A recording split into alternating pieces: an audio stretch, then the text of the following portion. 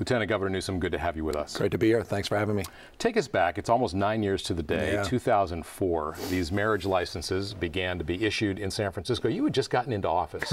what got into you? What were you thinking? Uh, the, I went to the State of the Union. Uh, Nancy Pelosi made a terrible mistake uh, by giving me her husband Paul's ticket uh, to watch the State of the Union by George Bush. And I sat there slightly bewildered up in the audience, uh, listening to the issues of the day abstinence, drug testing, steroid abuse.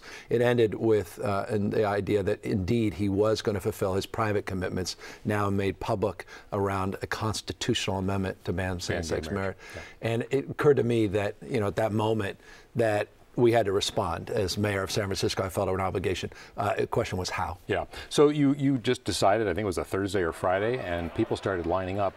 And it seemed to kind of spring, came on suddenly. No one was Well, warned. I mean, were- what kind of conversations did you have with the city attorney, the attorney general? No, it was not. It, this was done in a very deliberative way. We went through a very thoughtful process. Every memo we put together was done in the context of a legal case that was being made. We had uh, folks from NCLR. Uh, we had other folks that were organized in this effort. We had private attorneys. Because I'll say respectfully, it was a little bit of friction uh, in within City Hall over the city attorney's office. And I should just say NCLR, National Center for Lesbian Rights. yeah, we talked about what we can do, and we organized a very principled effort because we knew ultimately this would lead to litigation, and we wanted to put a human face on it. There were a lot of critics, of course. Some of them, starting with the governor, Arnold Schwarzenegger, who talked about, I think, chaos in the streets of San Meet the Francisco at the time on Meet the Press, exactly.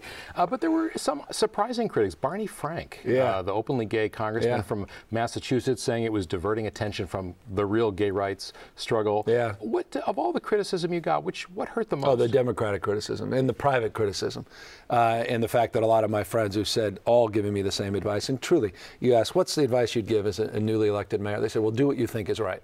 And then when you actually do what you thought was right, all of a sudden they say, wait a second, hold on now.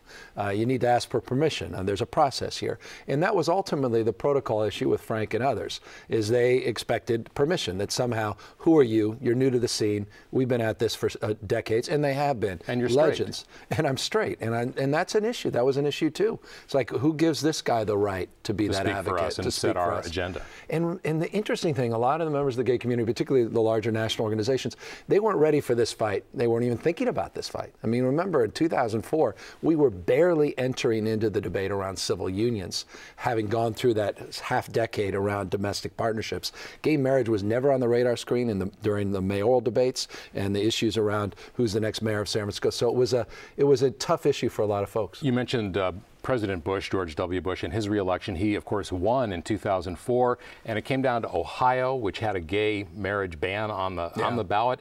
And the day after the election, I believe, Senator Dianne Feinstein, Yeah. one of your close friends, Yeah, said it is. blamed you in a sense, said it was too much. People weren't ready for it. You know, I get it. You know, a lot of folks felt that same way. Terry McAuliffe, the head of the party, all but blamed the election on the action. So I get it. Now, with that, the dust settled, and they did, uh, as they do with the exit polls, they analyzed those exit polls, and you saw it wasn't. You know, there was ten issues. Social issues was number five uh, behind the issues, uh, other issues, and interestingly, it broke both ways. Enthusiastic for Bush, enthusiastic for Kerry. But you say the dust settled, but you know, fast forward 2007, 2008, Senator Barack Obama running for president comes to San Francisco to raise money, and word was he didn't want to be photographed. Yeah, I was. Uh, was that was, true? I was. Was that Willie, true? Willie Brown, myself, Kamala Harris. We're, we're, we're doing those two fundraisers for him.